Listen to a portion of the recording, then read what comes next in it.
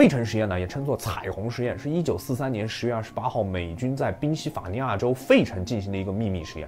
传说这个实验把美国护卫驱逐舰埃尔德里奇号直接从费城超时空传送了四百七十九公里到了纽约。关于这个实验的真实性呢，一直存在争议，因为美国军方一直都否认这件事情的存在。但是美国民间还是有很多人相信这件事情的，甚至呢有这么个小伙麦克马库姆还宣称自己复刻出了费城实验。今天我们就来讲一讲一个复刻费城实验的人。大家好，老客，一个永远分不清前后鼻音的 UP 主，旁边是时空穿越者小千儿。大家好，麦克马库姆呢是一个电气工程学的学生，自己呢平时还是个业余发明家，就好动手做点小玩意儿，就是那种拆家的人，知道吧？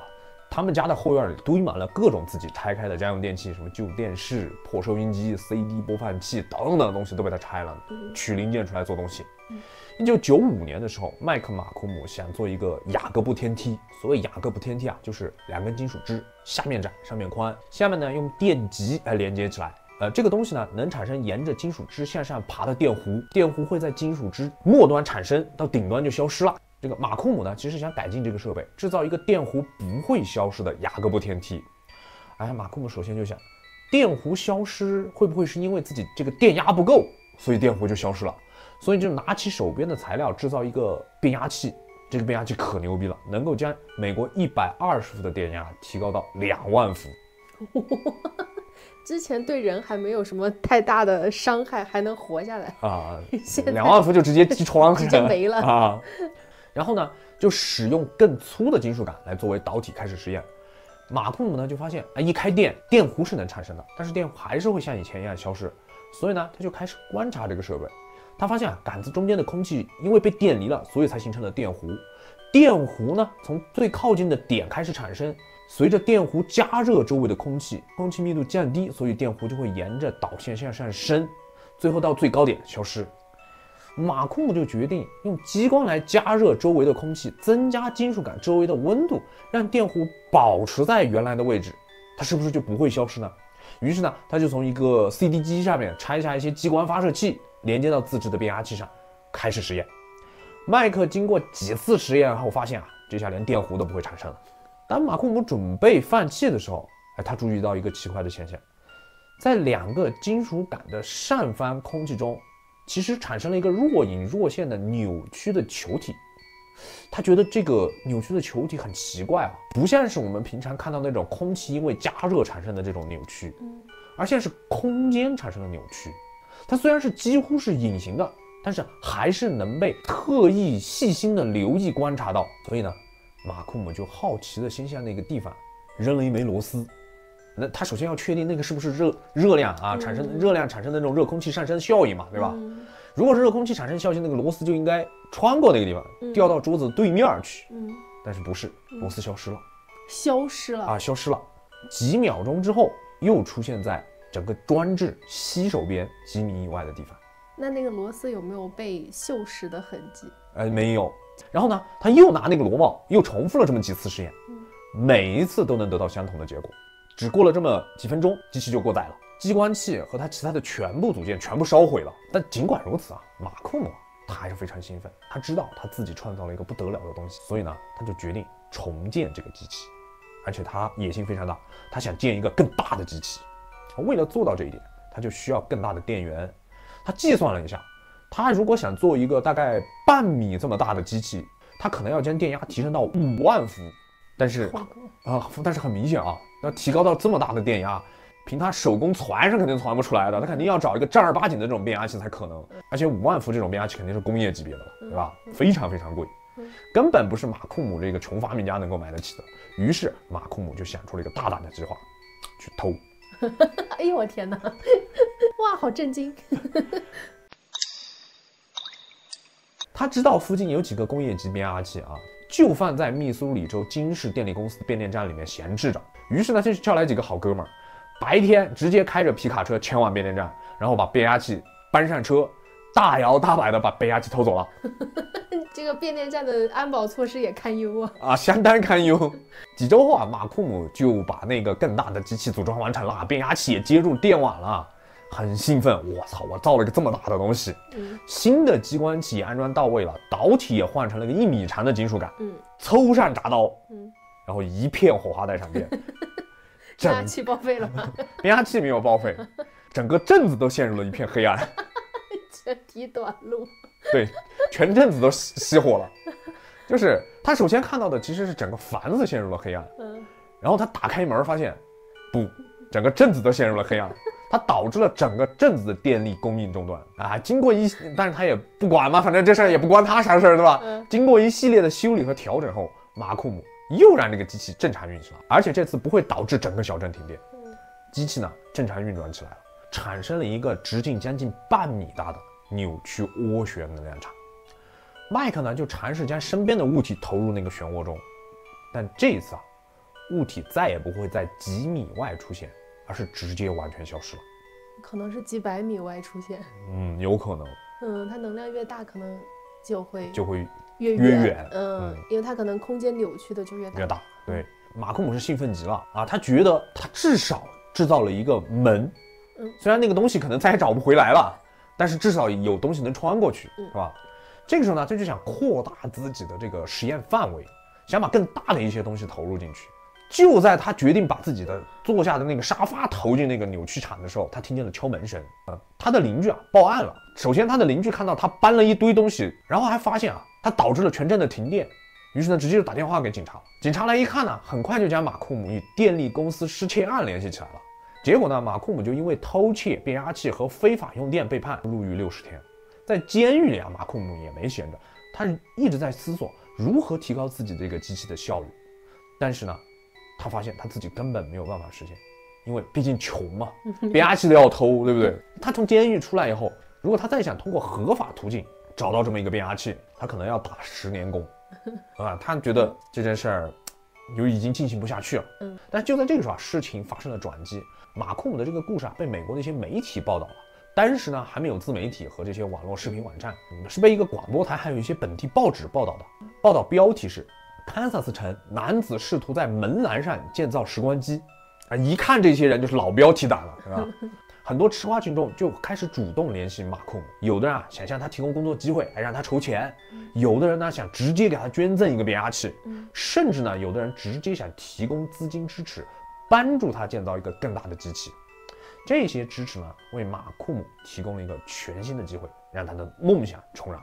有了钱以后啊，麦克马库姆在堪萨斯州欧弗兰帕克的一个仓库里建立起了他的实验中心。经过了大约一年的时间，他终于完成了一个更新、更大、高度升级的机器。这次马库姆使用了一个七万伏的变压器，有钱就是不一样。而且呢，还在一些网友的建议下改进了这个设备。他使用一个可以旋转的环形磁铁来控制机器产生的涡旋。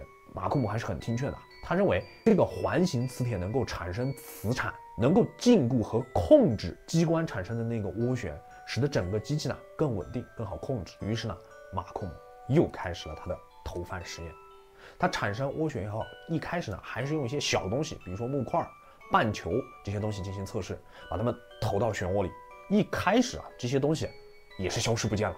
但是呢，他不是造造了一个磁场可以控制那个涡旋吗？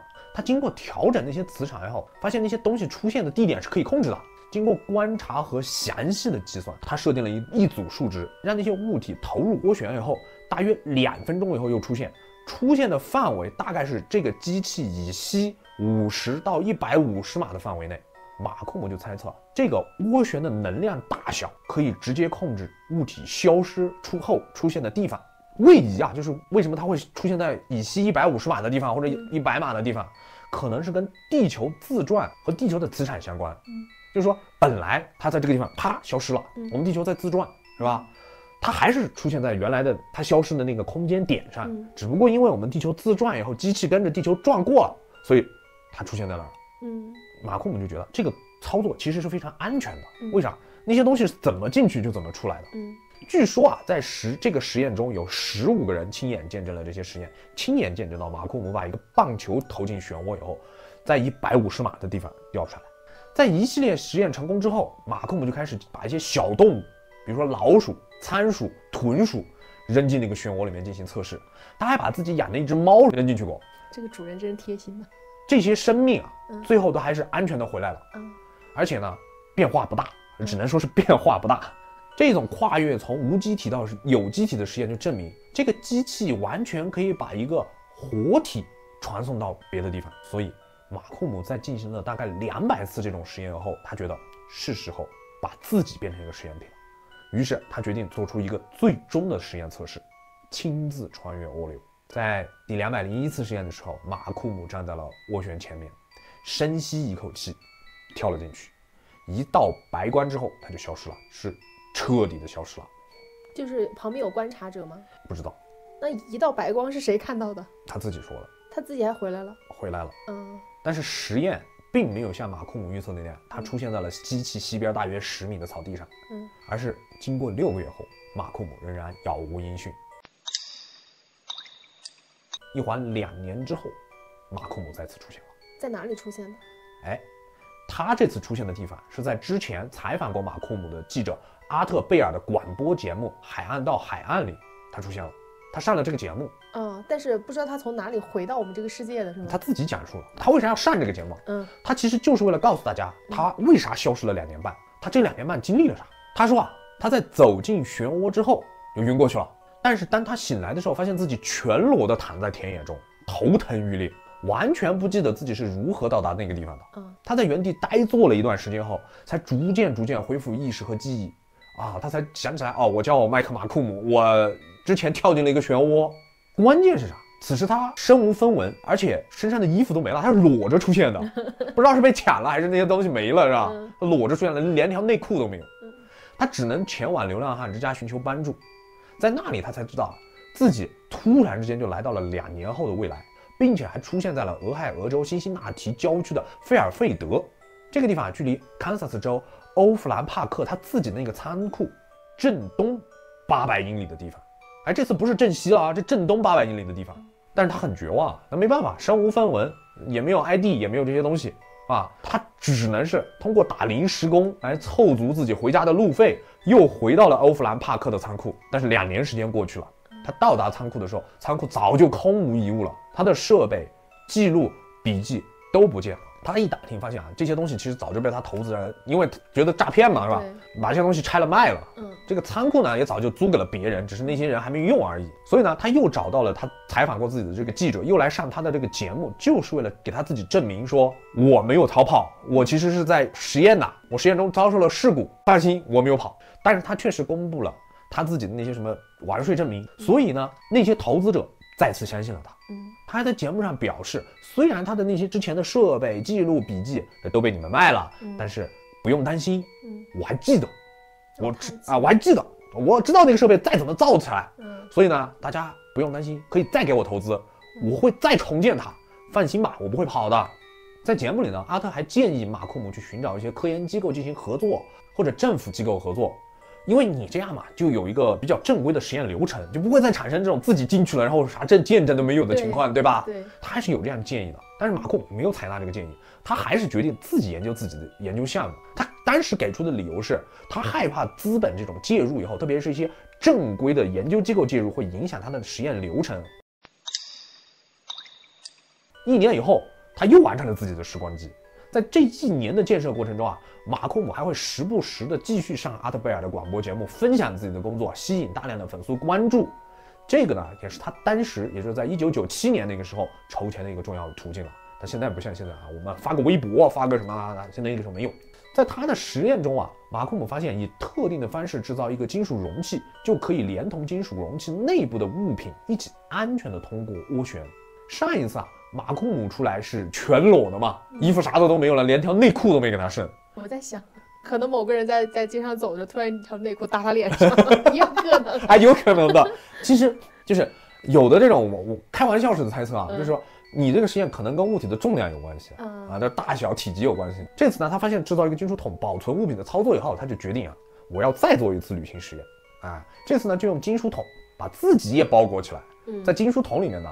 他还为了防止出现上一次那种记忆力衰退，嗯然后呢重要物品丢失，然后连钱都没有，裸体奔跑的情况，嗯裸奔的情况啊，他决定带一些重要物品，比如说自己的 ID，他还决定带一台手机，还有一些零钱和一些自救物品。但是呢，这条消息也是他最后一次与外界联系的消息。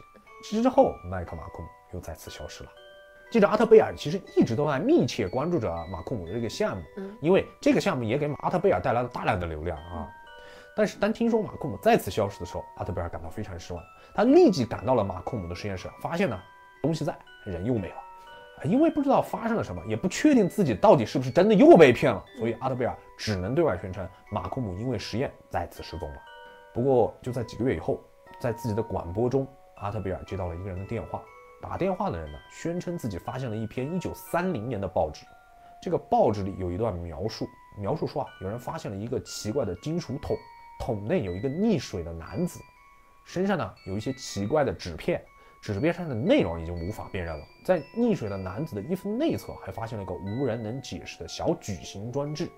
记住，这是一九三零年，那个时候还没有手机啊。嗯这个人呢，因为无法被确认身份，所以呢被命名为约翰多伊。打电话来给阿特贝尔的这个人啊，确定的说，这个约翰就一定是麦克马库姆。麦克马库姆可能因为他制造这个新的装置，时间旅行到了一九三零年，然后把自己给淹死了。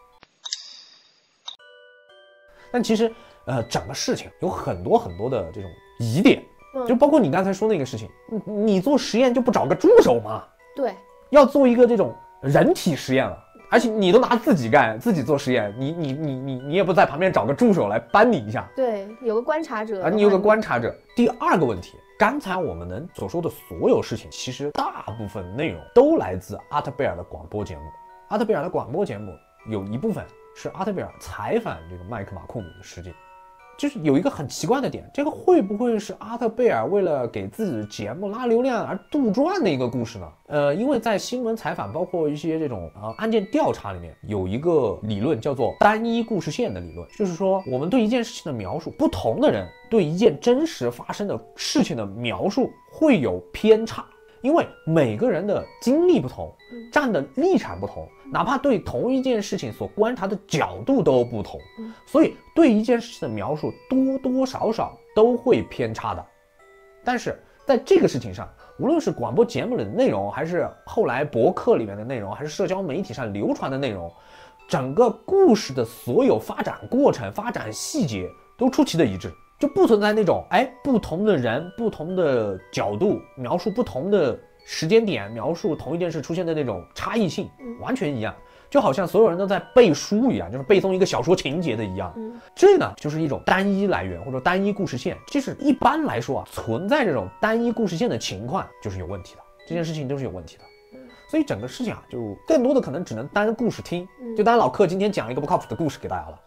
其他别的倒没有，就是他既然就是你刚才你说那里面，既然有这种捐赠，就买几个摄像机，三百六十度照嘛，拍嘛，哎，对，对吧？是的。我进之我进去之前，我肯定要拿摄像机去拍。其实你正常来讲啊，真的去做实验了，而且要忽悠更多的人来投资，嗯对吧？嗯，我肯定是找两个 DV 嘛，买个 DV 架那儿录下来，对录下来以后，我到电视台去播，嗯到哪儿去啊？遇到一个有钱人，比如说比尔盖茨，哎，你有钱是吧？你看我这个实验，你看你这实验，你要不要投资我？啊，你要不要投资我是吧？说不定我更有钱了呢。对啊，对吧对啊，而且就就算我不见了，我穿越了。然后来找我的人也能看到 DV 里面拍的东西，DV 到到时间或者没电自动就断了嘛，对，但是会录下来嘛啊，，但是会录下来嘛，对啊存下来嘛，存下来，嗯就是嗯妈，你看，哎呀，我这个东西投进去，嗯，哎，你看在那边出现了，你看我的时间记录的好好的，是吧？嗯你要不要来亲自看看？你说我十忽悠十个这种有钱人，总有一个人亲眼来看嘛，对在他在他面前亲眼做一次实验。对你说，比如说啊，这什么巴菲特啊啊、比尔盖茨啊这种人，啊，投你个十几亿，你不就把稳了？把稳了，对，而且这个东西对于未来的生产力也是有帮助的。是啊，你只要能找到那个快递，什么快递，你调整好磁场方向，调砸人家脑袋上对，那边那边丢进去，这边就到家了。但是我跟你讲，嗯这个我这种说法了嘛，嗯很快就被人打脸了。嗯，就是其实也有美国的网友，嗯就是说为什么他不敢这么做？嗯原因是呢嗯，美国其实一直不相信他们的政府。啊他们觉得，如果比如说马库姆真的拍了这个东西，而且是嗯这个录像带嗯流出去了，嗯马库姆人就消失了。就和现在一样，马库姆人就消失了。呃，就像那个什么，我们之前讲的那个雪山上的巨人啊，，是那那个男子一样，人就消失了。嗯嗯同时，他为啥不愿意去找政府、找这些科研机构，嗯也是出于自身安安全的考虑的，对，但是有个观察者或者搞个 DV 还是也有必要的，嗯有必要的。对啊至少这个观察者他信任的人，对吧？即使他不啊见了，这些信任人可以把这些资料保存起来，对，以后在可能几十年后合适的时候再公布，哎，是啊，对吧？对。嗯其实这个故事中唯一值得我们去点赞的，其实麦克马库姆的那种勇气和创造力，嗯，他的冒险精神和对未知的探索是值得我们去点赞的。对至少他真的敢自己跳涡旋。对，然后发现自己裸着。如果你觉得我们的视频还不错的话，也请点赞、收藏、关注 UP 主，这是对 UP 主最大的鼓励哦。